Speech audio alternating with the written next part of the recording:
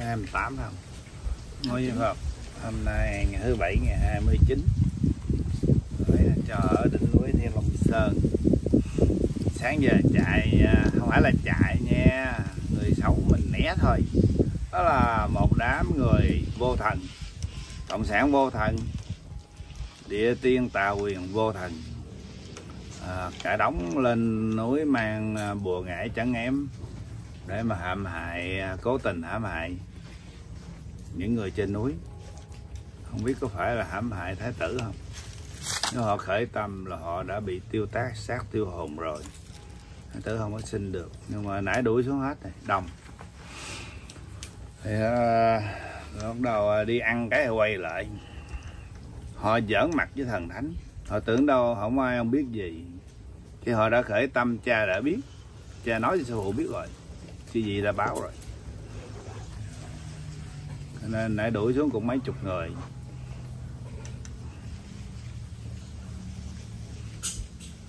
Qua bao ngày cuối cùng của uh, để bình trị cái núi thanh bình trở lại tẩy sạch hết những cái trượt những cái uh, cộng sản nằm dùng năm mười năm trên núi. Chú biết hết tại vì mình từ bi mà, mình đâu có phân cách ma với phật đâu. Mình là bạn với ma cũng là bạn với phật luôn. Nhưng mà mình nghĩ là mình có thể chiêu cảm được ma vì từ đầu tới cuối. Con của trời chỉ có lòng từ bi, không có vụ lợi cũng chẳng có làm phiền ai ha thì cứ nghĩ họ quay tâm. Còn họ quay hay không thì do cái số phước. Cái số của họ và cái phước của họ. 10 chết 7 còn 3 chết 2 còn 1 ra Thái Bình sàng lọc. Còn những hàng đệ tử mà mong cầu cầu mong hoài cầu hoài không thấy sư phụ làm thiên tử gì hết thì sanh ra bất mãn. Khi họ đã sùng kính thì họ đã biết bất mãn cao độ thì cũng không phải lỗi sư phụ. Cơ trời đi có chậm có lẹ mà. Miễn sao cái mục đích nó, nó đến là được rồi thì cũng là sự thách. Nên cuối cùng còn lại những đứa tử hiền tốt xung quanh. Thôi mình không nói chuyện buồn nữa mình đã vui rồi. Mình đã tất cả các vị đã tiêu diệt bọn tà thần ở trên núi này rồi. Thầy pháp cũng bị tiêu. Tương lai chỉ cần cái hội chí sinh cha bữa bữa đó, đó lúc mà các chị vị đến mà để mà tiêu diệt bọn thiên ma với thầy pháp trên núi này anh. Thầy cho phụ chí sinh được giữ cái mạng, nhưng mà lúc đó cho nó còn từ bi quá. Tình nghĩa sẽ hồi sinh được cái mạng, nhưng chỉ còn khởi tâm thôi, thì các vị sẽ bị sẽ bị mất mất xác, mất hồn ngay lập tức. Giỡn với ai thì giỡn, đừng có giỡn với con của thượng đế. Sư phụ là con của thượng đế thì học tư thiệt á một trong 12 người con trai duy nhất của ngọc hoàng thượng đế. Tối cao của vũ trụ đấng tạo hóa của nhân loại, của tam cõi cõi trời cõi người cõi địa. Sắc dê bò dê và cũng đừng có bao giờ mạo phạm với những người con trời. Không phải chỉ có trên trời có ba sáu tầng trời cái vị trời mà đứng hàng thứ nhì cai quản càng khôn phụ với ngọc hoàng thượng đế tức là cha với phụ đó, đó là vị trời đứng hàng thứ nhì cũng là ông trời. Thì sư phụ có được tiếp cận. Hôm nay lần đầu tiên trong nhân loại sẽ biết được cái tên của ngài. Con xin phép uh, thân phụ cho con uh, tiết lộ để cho nhân gian sau này biết. Và con sẽ họa cái chân dung của ngài cho mọi người thờ cúng tuy là cha nói là không có cần con xin phép. Thưa thân phụ, ngọc thiên đại đế, con sẽ hứa với thân phụ, suốt đời con sẽ bảo vệ con của ngài. Không có để ai xúc phạm. Người nào xúc phạm thì sẽ có luật nhân quả trừng trị, thiên binh, thiên tướng trừng trị thượng thiên công chúa đã bao nhiêu năm chịu khổ ở trên núi, vì những đứa đám đệ tử ăn hiếp. Người con gái duy nhất của Ngọc Thiên, Đại Đế, hạ phàm, để mà giúp con thời để về để lo cho chúng sanh, cho ba tánh, cho nước Việt, cho thế giới. Riêng con là duy nhất, con của Ngọc Hoàng Thượng Đế, hạ phàm để mà lo cho thế giới lo cho nước Việt. Ngũ Long công chúa Quyền Châu con út của Long Dương cũng hạ phàm để mà cùng với con giúp cho chúng sanh cho thế giới. Nhưng uh, ngũ long công chúa có công thành ra những dòng giống quanh liệt để mà những ờ, người phi thường. Con đã là người phi thường, thì những đứa con rồng cháu tiên, giống tiên rồng cũng sẽ là phi thường. Còn riêng thượng bình công chúa thì con không biết tương lai như thế nào. Bây giờ chỉ là muội muội. Ở trên trời chúng con chế nhau từ nhỏ. Thất lạc mấy chục năm. Cũng là cái sự thử thách. Nhưng mà cái đám vô mình đệ tử nó không có hiểu. Thì à, sau này và trong tương lai về sau nhân loại sẽ có những câu chuyện rất là thần kỳ. Cho nên 513 câu sư phụ có nói những chuyện ly kỳ ai muốn nghe không? Có những cái nhân loại không bao giờ biết, không bao giờ hiểu. Thì đừng có ôm cái chân con voi mà vẽ voi. Đừng có ôm cái dồi voi mà vẽ voi. Mỗi người vẽ một kiểu. Thiên tử lập đạo là di lạc truyền thừa. Bảy dòng hào quang. Các gì công chúa đều có bốn dòng hào quang. Người phàm không có. Chỉ có màu sáng hoặc màu đen thôi màu đỏ là sân si, màu tím là sắp chết. Đa số, cả các ông thầy mà đi ở ngoài đường từ bắc tới nam cũng là cái dòng hào quang màu sáng dù không có tính ai tu cao tu thấp, hạnh đầu đà hay là hỏng đầu đà. Vô chùa cả ngàn ông thầy, chỉ nhìn hào quang là biết. Đó là cấp bậc và thứ tự. Thì nói sơ vậy ngày hôm qua có à, thầy trò có à, ngồi trên võng thì có nói à, mười mấy phút.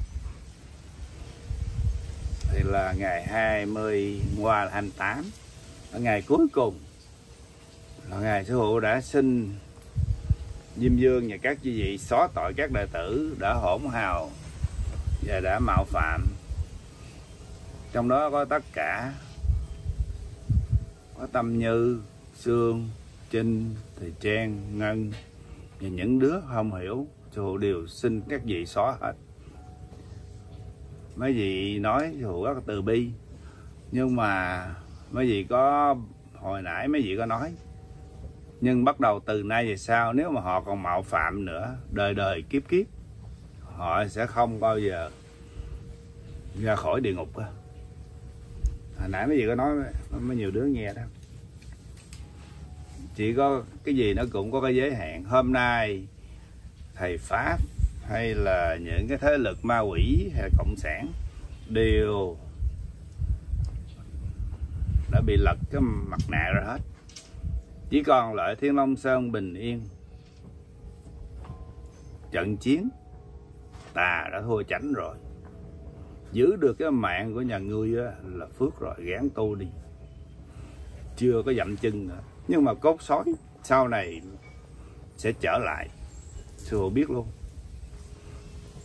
Hôm nay họ không còn thần thông, cũng chẳng còn bùa phép như xưa.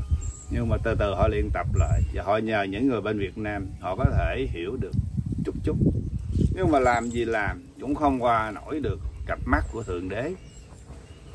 Những người cha đã thời ai mà xuống trần, ai mà tìm cách mà sát hại hay là mưu mô làm phạm những cái người của thiên đình, những người cõi trời người đó sẽ bị tiêu sát tiêu hồn. Cái hộ xuống trần rất là từ bi, biết thì sinh cả những đứa đệ tử hiểu hiểu lầm hay hiểu thiệt, hay là gì mong cầu không được, rồi sân si, mạo phạm rất là nặng á, chứ cũng đều từ bi sinh hết. Biết mới sinh còn lỡ không biết là sao? Cả thằng tiếng nguyễn minh tiến sư cũng đã sinh cho nó rồi đó. Mấy gì nói lúc đó đó là có con ma nhập vô cái miệng của nó. Các con coi phim này, bình thường nó khù khờ nó biết cái gì. Mà bữa nó nó lanh lót mà nói suôn xẻo mà không có chữ nào cũng không có dắt. Thì thu hỏi lại đó là có gọi là ứng khẩu âm binh ứng khẩu. Nên nếu mà âm binh ứng khẩu thì không phải tự tánh của nó nếu không phải tự tánh của nó thì nó vô tình. Người ta mượn nó.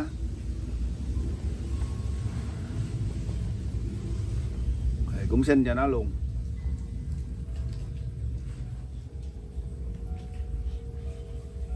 Những gì sư phụ nói, những hàng đệ tử gần cận gần đây sẽ hiểu và sẽ theo dõi.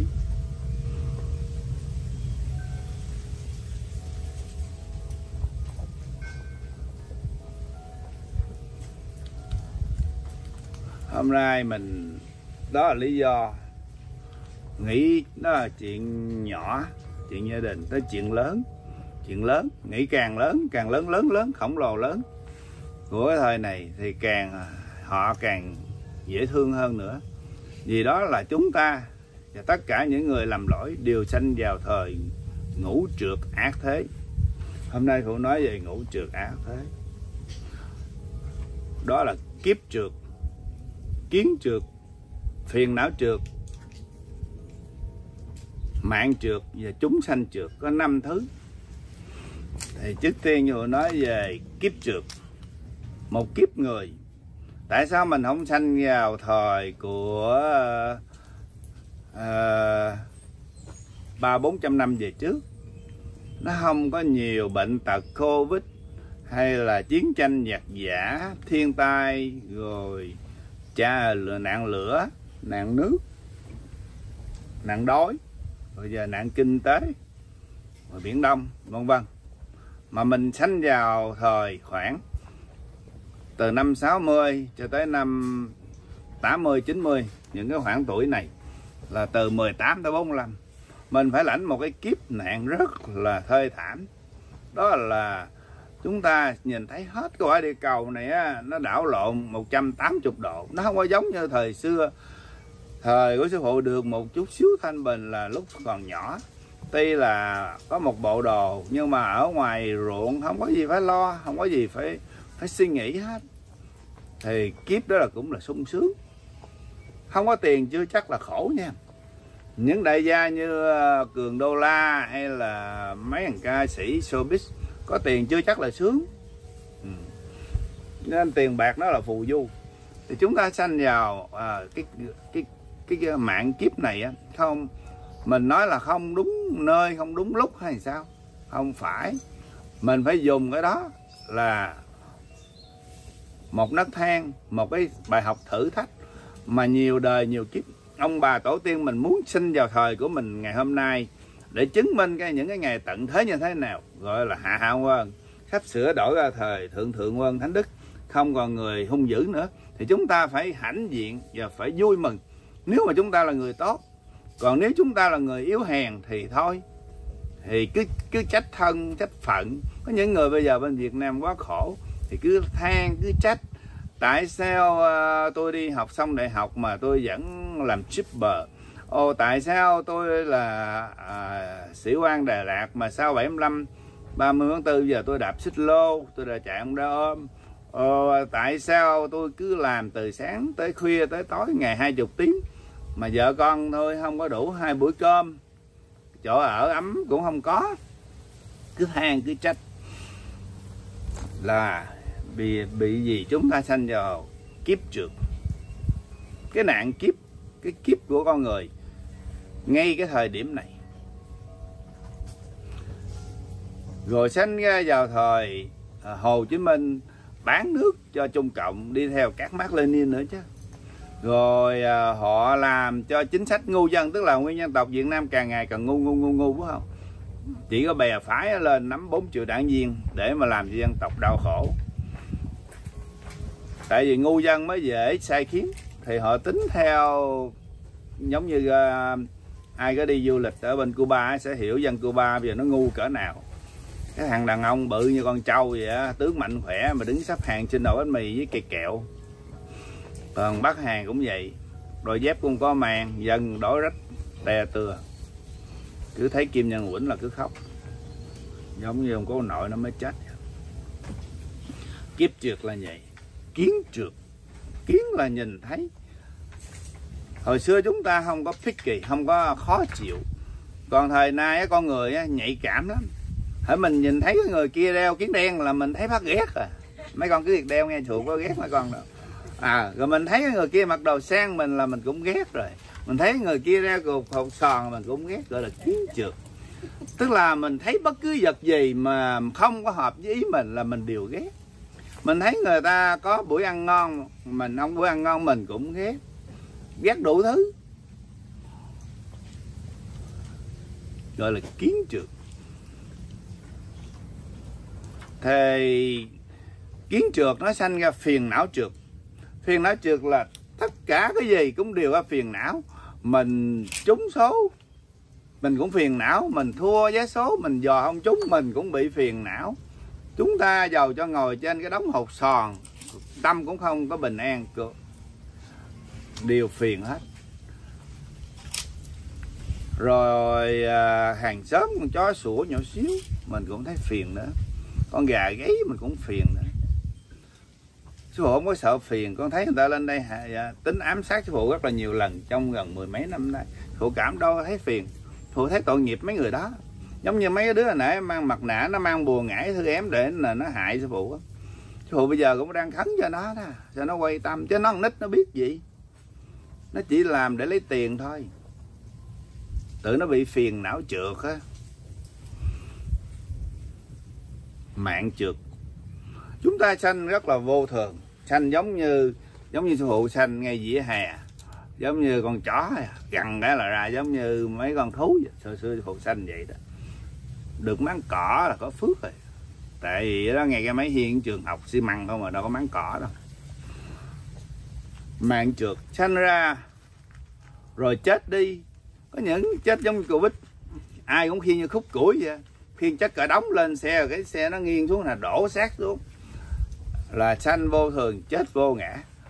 Chết một cách rất là mà như loài thú nhiều lúc còn được uh,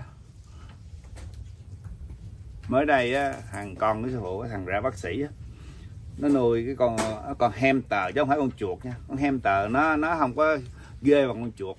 Chạy vòng vòng vòng vòng cho ảnh vô anh nó học ở dưới trường á ảnh bạn của ảnh duy nhất là con hamster. Nó nuôi ba bốn năm. Đến lúc chết á cái nó khóc.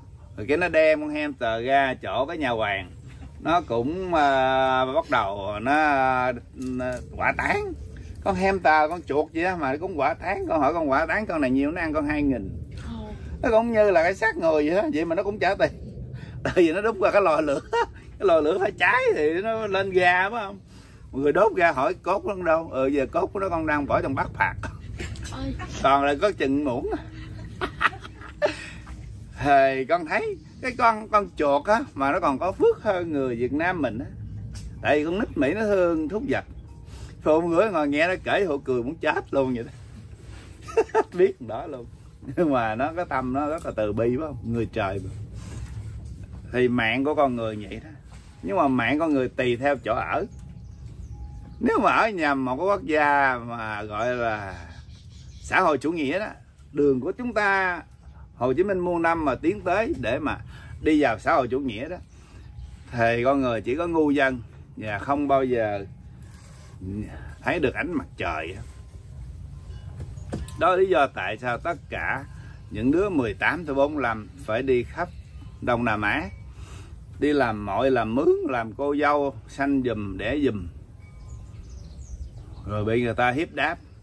Trong đó có hàng đệ tử hội thiên cũng đông á. Phụ có một đứa đệ tử á, đang lang thang bên mã lai á, phụ đang lo cho nó. Đó là mạng trượt. Phụ càng nghĩ tới á, thì mình càng thương những đứa mà hãm hại sư phụ. Tại nó sanh ra không có đúng thời ngay vào thời ngũ trượt ác thế. Chúng sanh trượt. Con thấy tất cả thế giới này từ nước nga đang bình yên tự nhiên Putin á, đi lấy uh, đi xâm chiếm Ukraine. Giờ thành cả nước Nga điêu tàn dân uh, kiếm lon coca uống không có mà nước Nga là nước giàu á nghe. Rồi Ukraine cũng vậy giờ à, mỗi một ngày à, dân chúng đâu có được bình yên. Chiến tranh giặc giả, nhà lầu thành đóng gạch.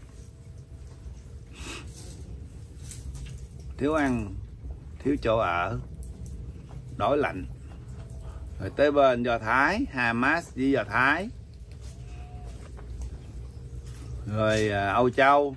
Âu châu có bao giờ mấy con thấy hồi xưa mà mình nói đi âu châu là sung sướng, không phải lo gì, đúng không?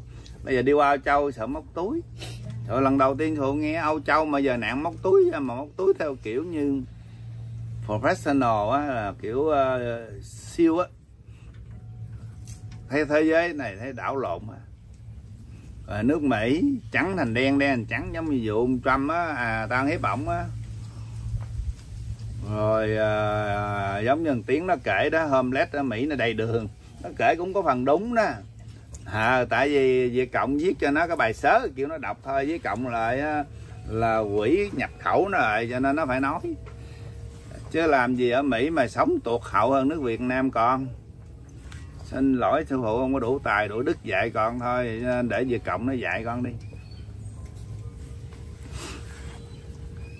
Đó là chúng sanh trượt. Chúng ta đang ở núi thiên long sơn này cũng bị ít nhiều ngủ trượt ác thế. Nhưng mà giàu sao á, mỗi một tuần chúng ta lên đây có cảnh thanh bình thiên nhiên. Các chư vị đứng đầy trên núi, nhất là linh thiêng có cha, có mẹ đọc thời kinh. Chúng ta giữ được cái sức khỏe, giữ được sự bình an để chờ ngày cái ngày đó sẽ đến một thời gian rất là cận kề. Sư phụ nói tính bây giờ là, bữa hổm là tính tháng bây giờ sư phụ là tính theo tuần. Nhưng mà sư phụ nói thì những đứa đệ tử nào mà không có mong cầu á, thì cứ cứ cứ nghĩ là lâu. Nhưng mà từ lúc 5 năm mà cơ trời đi con nhớ xưa ông trạng trình nói 500 năm về trước. Sao không nói lâu đi? Thường mới lên mạng có mấy năm thôi. Vậy mà số đệ tử nó mong cầu mong hoài ông thấy. Phụ làm vua hay là đức thầy xuất hiện cái đó rồi nó quay ra nó chửi mình phản mình. Cái đó là do cái tâm. Nhiều màu, nhiều sắc. Thí dụ chửi cho phụ, phản cho phụ, bỏ cha, bỏ mẹ thì không nói gì. Mà bỏ luôn cái linh hồn mình cho quỷ. Tạo nghiệp á. Thương là thương chỗ đó. Ví dụ bỏ à, cứ ở nhà, cứ bình thường lại đi, phải không? Không, tụi nó không có làm vậy. Nhưng mà đưa lôi âm tự đường đi chưa tới à, hồ cứ mặc kệ à. Hồ cứ xẻ đi tới lôi âm tự.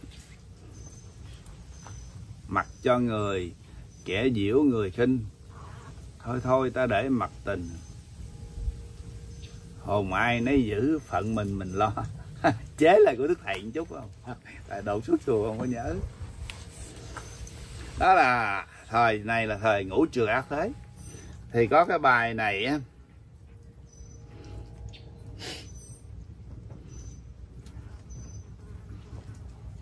bữa trên báo nó cũng đang nói về ngũ trường ác thế.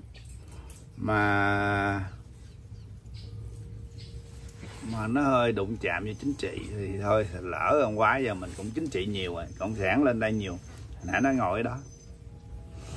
Chút đọc cái bài đó. Của tờ báo. Những cái căn bản mình nên nhớ nha. Mình xuống đây, mình mượn sắc phàm để mình học. Học xong cái bài học đói khổ ấm lạnh của xác phàm yêu đương. À, gia đình con cái nghiệp à. rồi để mình giữ chân thiện mỹ mình đi về trời với cha mẹ. Đó là mục đích chính của chúng ta. Còn nếu mà mà mình cứ nghĩ cung phụng sắc phàm hay lo làm giàu làm có gì dưới này á lo phe lo phải là không đúng là sai. Phải hy sinh tất cả cho người xung quanh cho nhân loại cho quốc gia của mình thì là đúng. Cho nên khi mình khởi tâm sân á thì mình chết. Thứ nhất mình sẽ là ngạo sẽ là súc sanh. Mình khởi tâm ích kỷ đố kỵ ganh ghét người khác thì mình sẽ là ngạ ngạo quỷ. À, mình còn nếu mà người hiền mà không có khởi tâm hiền thôi hiền lành đó thì người trở thành người. Còn nếu mình khởi tâm giống như thụ vừa mới nói mình biết lo nhiều người á, mình thành bồ tát, thành thánh, mình được về. Tại vì mình đã pass qua cái bài thi. Cái bài thi này thấy nó rất là dễ, nhưng mà đâu có dễ đâu.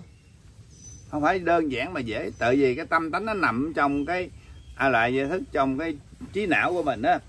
Mình muốn thay đổi cái đó, mình mình phải nhất trí và phải có ý chí kiên cường.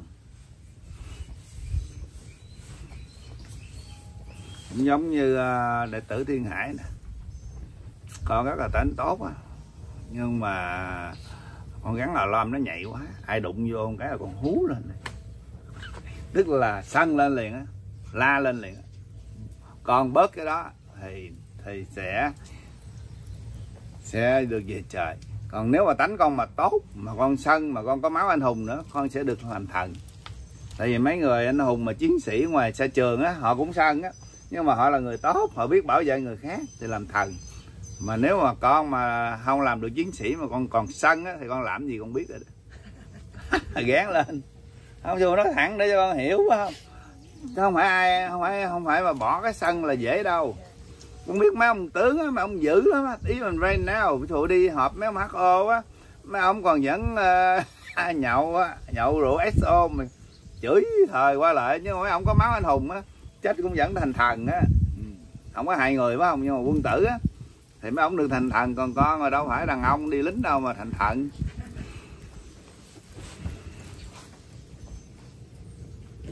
Còn mấy người mà hiền hiền, im im im im, mấy tướng này, chắc thành người lại quá. Tại vì không có lo cho người khác sao thành à, thành bồ tát được. Còn những đứa nào mà đố kỵ à, ganh ghét thì giận là đó, thì sẽ là ngạ quỷ súc sanh cái tâm của mình thôi. Cái hội nhìn người hay là những hàng đệ tử là tâm, chứ không có nhìn bề ngoài nha. Dùng tâm không à dùng thần thông để mà nhìn thấu từng đứa từng đứa.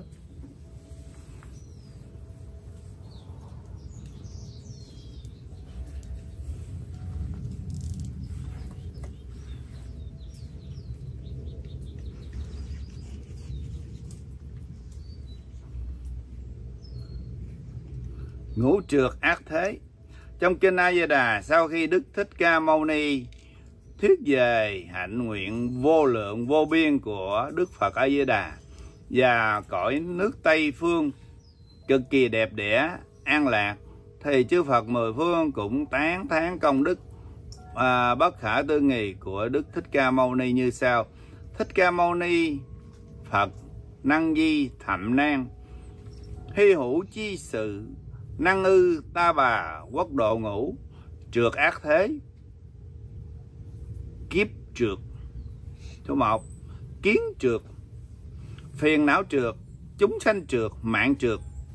Chung đắc a nậu a la, tam mèo, tam bồ đề. Nhị chư, chúng sanh thiết nhị nhất thiết.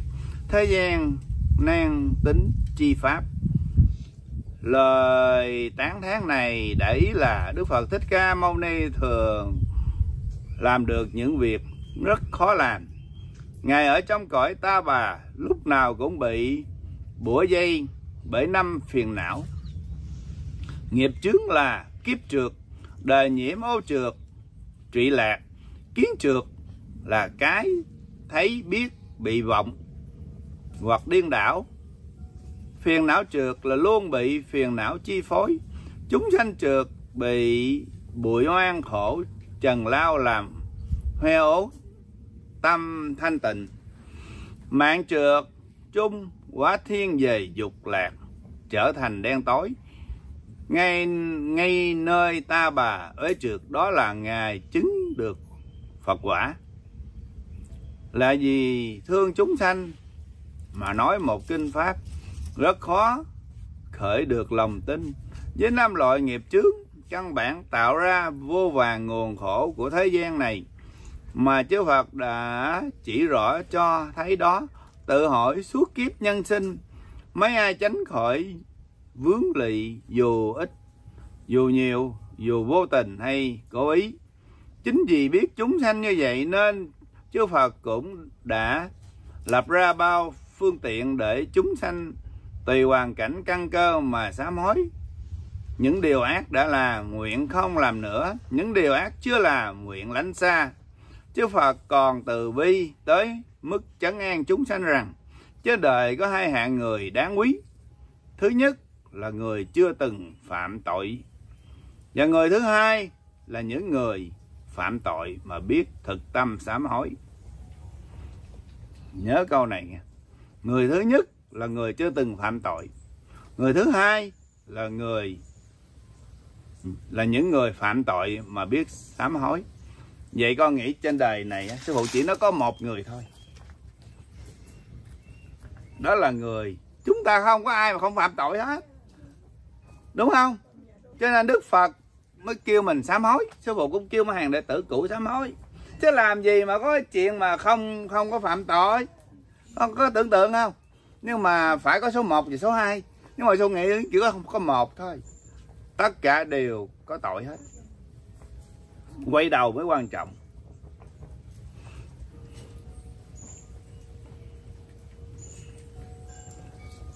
Giống như xưa lúc mà chưa cưới à, mà công chúa à, Long Cung. Lúc đó rồi là chủ đẹp trai.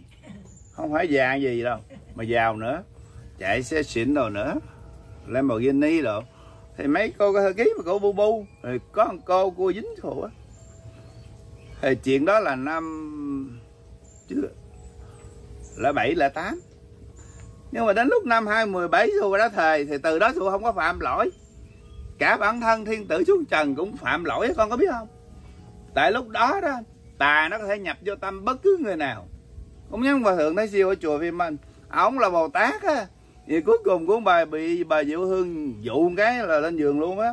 Rồi mở cái chùa hai người dọn ra riêng rồi xô bị chửi bị uh, tất cả mấy ông thầy quốc danh đây này dùng dùng cái cớ đó, đó để mà xuyên tạc thiên long sơn cho nên tới ngày hôm nay thù bị mất tay tiếng là bởi bởi mấy ông thầy có bồ. Chứ thù đâu có làm lỗi gì đâu thù đâu có đuổi thầy gì đâu. Không hiểu không? Ý mình nói là bồ tát á, cũng phạm lỗi. Thiên tử cũng phạm lỗi vậy. Tất cả chúng ta đều phạm lỗi nhưng mà chúng ta có quay đầu sám hối hay không? Cha chỉ cần ờ, quay đầu thôi mà. Cha đâu có phải là nói là everyone is perfect đâu. Đó lý do hồ giữ được cái mạng của con sói để mà tu tiếp.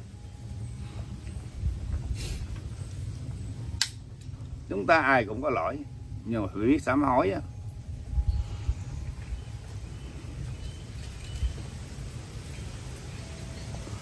Lời từ bi này chính là cánh cửa mở ra cho bao người biết hãy sợ luật nhân quả, thành tâm hối cải, bỏ ác làm lành. Thương thay có những kẻ mãi miết đi mãi trên ác đạo dù đứng trước bao sự việc rõ ràng vẫn không nhìn ra. À Điển hình là trước sự kiện hiếm hoi vừa xảy ra tại Việt Nam được cai trị dưới bàn tay sắc bọc nhung của các chế độ cộng sản. Sự việc những người dân lam lũ cùng khổ ở nhiều nơi đồng lũ lượt kéo nhau về trung tâm thủ đô để kêu oan là việc nhà nước không thể đón biết trước bởi họ quá tự tin ở sức mạnh của quyền lực. Ai dám vượt qua quyền lực đó là tự đi tìm cái chết. Trên đời này con sau cái kiến còn biết quý sự sống thì con người nào lại dại dột đi tìm cái chết? Sự việc dân quê 19 tỉnh kéo lên trước tòa nhà quốc hội kêu oan suốt 28 ngày liên tục là do nhà nước quên lường trước. Một điều điều đó là khi không còn gì để mất thì không còn gì để sợ. Đúng rồi đó. Dân mà không còn gì để mất thì dân không còn gì để sợ. Kể cả cái chết. Suốt 28 ngày, nhà nước lúng túng, không biết làm sao giải quyết. Đám dân kêu oan này, trong khi sự thực tâm giải quyết thì rất đơn giản. Bấy lâu nay nhà nước đã giữ dùm tài sản của dân. Nay dân muốn xin lại thế thôi, tại sao không trả lại cho dân? Có lẽ chỉ diêm dương mới biết. Khi người cộng sản trực diện diêm dương để mà nghe bản án thì vì sao cướp của dân và không trả lại thì đã quá trễ. Nghe kể tội xong thì đã là tuyên án còn thì giờ đâu mà hối cải? Đón công chuộc tội thương thai cho lòng tham không đáy. Tham của chưa đủ còn tham quyền. Thế nên sau 28 ngày lúng túng biết là cả thế giới đã nhìn thấy sự việc như nhưng mà nước vẫn không có cách gì. Khác hơn là à, bổn cũ cộng sản soạn lại xe tăng quân đội công an à, súng ống lựu đạn cay vân vân. Được quy động rầm rộ đến những máy liều được căng bằng ni lông giấy cứng giải dụng. Trong những máy liều đó đa số là ông già bà cả phụ nữ trẻ em. Dân kêu oan bị hốt lên xe như quăng xúc vật trong khi làm việc hốt rác này một công an tên phạm việt long đã trả lời câu hỏi sao bắt dân là không thể để 80 triệu người Việt Nam bị ô uế vì đám dân khiếu kiện này nên phải dẹp. Giận chăm rồi lại thương thai cho sự vô minh. Công an được cấp trên dạy dỗ thế nào thì biết thế đấy. Như loài ngựa kéo xe bị giới hạn mắt che chỉ thấy một đường thẳng phía trước mà đi, chần chừ là roi sẽ vuốt xuống như mưa. Chỉ cần dương được chút tơ mỏng trí tuệ, thì những kẻ được dạy dỗ như vậy cũng nhìn ra ngay rằng, nói câu đó là chúng đang tuyên dương. Đám à, dân kêu an đó, đúng thế, chỉ mấy trăm người dân cùng khổ mà làm ô uế được tới 80 triệu người khác, thì mấy trăm người đó phải có thớ lắm. Ảnh hưởng được 80 triệu người đâu phải dễ. Nếu không, muốn nói là quyền uy ngất trời sinh sát trong tay mới được, mới làm được. Như nhà nước cộng sản việt nam ngày nay chẳng hạn, chỉ cần một chút trí tuệ, một chút xíu thôi là tự hỏi và nhìn những gì đang xảy ra trên đất nước Việt Nam từ 30 năm nay. Đất nước Việt Nam đã có biết bao cảnh chưa từng được phổ biến khắp nơi, chứ chẳng phải điều tra tìm tòi gì mới biết. Chưa từng có cảnh mẹ Việt Nam phải xếp hàng bán máu để mua lít gạo, bó rau về về cho buổi cơm tối. Chưa từng có cảnh hàng loạt thiếu nữ Việt Nam thoát y cho ngoại nhân à, sớ nắm chọn lựa làm tỳ thiếp chưa từng có cảnh thiếu niên Việt Nam liều lĩnh buôn bán ma túy khắp đường phố. Chưa từng có cảnh giữa trạng huống đói khổ cùng cực của dân chúng. Dám quan à, đám quan quyền hạng C của nhà nước buôn một uh, tiếng cá độ sơ sơ 2 triệu đô la Mỹ chưa từng có cảnh xuất uh, chưa từng có cảnh xuất cản dân đi làm lao động. Ở các nước cộng sản xa xôi mà tiền đầu mỗi người dân nhà nước đã nắm trước. Chưa từng có cảnh nhà nước làm ngơ khi tàu Bắc Phương bắn giết ngư phủ Việt Nam trong hải phận Việt Nam. Chưa từng có cảnh nhà nước các đất dân Bắc Phương dời mốc biên giới vào sâu nội địa mà dân chúng chỉ được biết khi bị chặn lại ở đất quê hương. Với lời phán rùng rợn muốn đi tiếp phải có giấy thông hành. Đất trên đó là đất tàu rồi. Chưa từng có cảnh đảo lộn luân thường đạo lý suy sụp tận gốc rễ nền văn hóa tổ tiên. À, gầy dựng hơn bốn nghìn năm dù trong quá khứ từng bị ngoại xâm đô hộ nhiều trăm năm. Vân vân và vân vân. Người Việt Nam người văn Việt Nam có ngửa mặt lên trời à, kể lễ ba năm cũng chưa hết những sự chưa từng. Song song đó là ngoại tệ hàng tỷ đô la. Bên ngoài gửi về cứu giúp thân nhân trong nước cứ thông thả điều đặn chạy vào túi quan quyền chớp bu nhà nước qua nhiều ngõ ngách rửa tiền. Khó che mắt. Bàn dân thiên hạ với kỹ thuật. Hiện nay, Việt Nam có can chi ai làm gì được. Dân tiếp tục đói, tiếp tục khổ, tiếp tục rách. Rưới bệnh hoạn là việc của người bên ngoài. Chỉ cần ngồi trước máy điện toán cá nhân à, bấm nút thơ thẩn qua các website sẽ thấy không biết bao nhiêu là cơ quan từ thiện khúc ruột ngàn dặm hướng về quê hương cứu giúp đồng bào qua các uh, tất cả các lĩnh vực giáo dục y tế kinh tế thiên tai vân vân. Khi cứu đói cứu nghèo cứu bệnh nhà nước chỉ đảm trách hai lĩnh vực là lừa buôn dân và bán nước.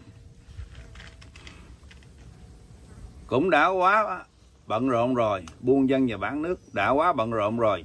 Thì giờ đâu mà lo ba cái lẻ tẻ khác? Trước tiền à, trước tiền bạc giàu quyền uy ngất trời như thế của nhà nước làm sao mấy trăm dân đói lên tỉnh Kiêu An lại có thể làm ô với được 80 triệu người như đám công an dẹp biểu tình đã được nhà nước dạy dỗ tuyên bố. Sự khi uh, khiếm khuyết này có lẽ do vội vã hay dẹp và dân xong có đọc thấy trên tin tức, lời tuyên bố này chắc chắn nhà nước đã tập hợp công an, bộ đội mà dạy. Lại thế này, các đồng chí ơi, có à, công tâm mà nói, đám dân quê rách rưới đó như muối bỏ biển. Có đáng chi mà ảnh hưởng được tới 80 triệu người khác chính chúng ta 2 triệu đảng viên cộng sản mới có đủ phương tiện và quyền lực để đã và đang làm thay đổi 80 triệu người. Chưa kịp dứt câu thì, thì thay đổi thế nào thì không chừng có kẻ dơ tay nhắc. Thưa đồng chí công tâm là gì? Danh từ này nghe lạ quá. Chủ tọa buổi họp có thể giật mình không trả lời câu hỏi mà lại thầm lầm thầm tự hỏi ừ nhí công tâm là gì? Làm gì có công tâm? Mà có uh, làm gì có tâm mà công với cán ok câu này đọc là ừ nhỉ công tâm là gì? Làm gì có công mà công với cán. Thế đấy, với lời phật dạy về hai hạng người, đáng quý. Thứ nhất là chưa từng phạm tội. Thứ hai, phạm tội mà biết thực tâm sám hối, thì cộng sản đã không ở nơi hạng nào. Chứ thật, chứng thật là ngoại hạng. Cái gì Phật đó là thời ngũ trượt ác thế. Này lời thà hơi đụng chạm không? Mấy đại ca Việt Nam. Trời ơi tô lâm kêu binh á, làm nội loạn vậy đó. Cho nên dân khổ. Giờ chơi với tàu chơi với nghe.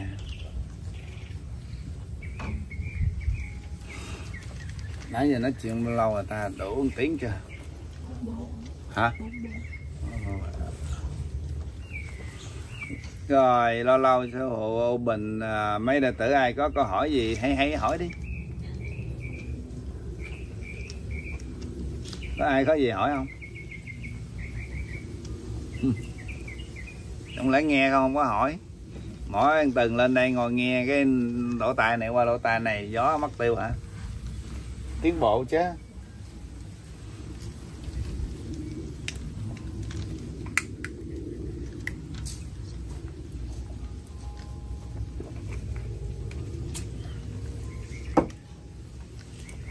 không có gì hỏi hả?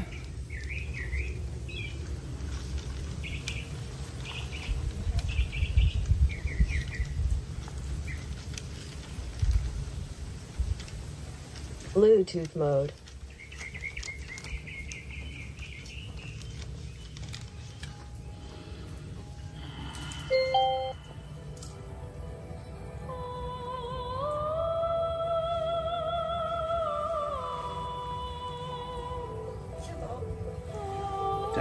Nói đi. Con thương sư phụ hơn ba con luôn. Rồi sao? À, cảm ơn con đừng thương quá nha con. Thương mà có không có mong cầu mới là thương đúng. Nhưng mà cũng không trách tại vì à, ở những đứa nó chờ năm sáu năm để phụ về nước á chờ hoài không thấy. Nhưng mà phụ biết chắc là xô về nước. Mà trong thời gian rất là ngắn chỉ sợ tội nghiệp mấy đứa cũ.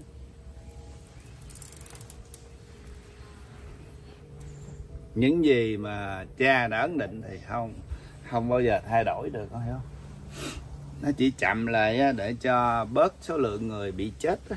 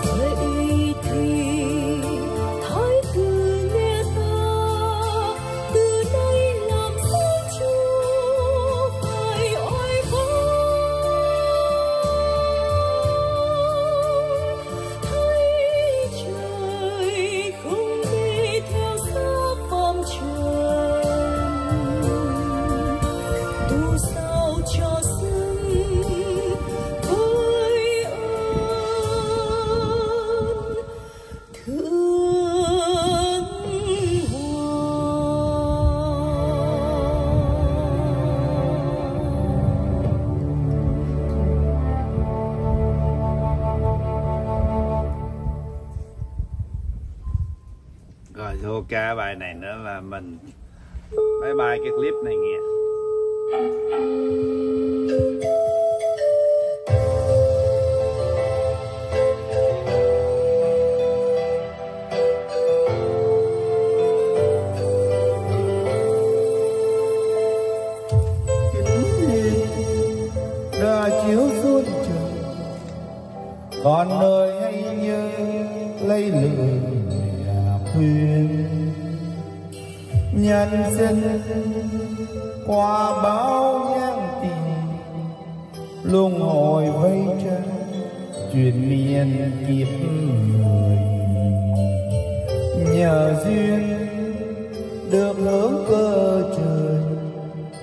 lại thêm tư mạnh vào đời dương gian. Rồi đấy, năm giữ giang sang lo cho quốc thái rằng an lâu dài. Lo cho cơ đều ngày mai, chúng sanh sẽ biết ơn ai đã truyền ấy lo? Trời phật linh thiêng, dáng cơ mở đạo khắp miền nước non. Kinh thiên, mẹ chiếu cho con, số trời đã định, đâu còn bao xa. Lo sao? Xây dựng nước nhà lo cho ba tánh hoang ca cuộc đời.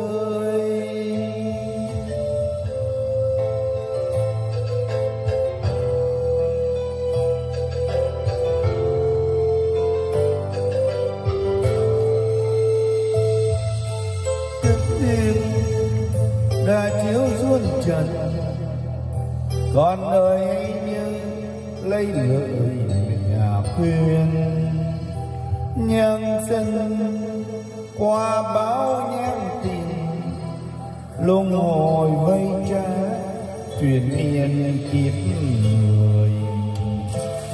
Nhờ duyên được hướng cơ trời, lại tiêm sứ mạng đạo đời dương gian. Rồi đây, năm giữ cho quốc thái dân an lâu dài. Lo cho cơ đạo ngày mai, chúng sanh sẽ biết ơn ai đã truyền. Hay là trời phật linh thiêng sáng cơ mở đạo khắp miền nước non kinh mẹ chiếu cho con. Chốt trời đã định, đâu còn bao xa. Lo sao xây dựng nước nhà, lo cho ba tháng hoang ca cuộc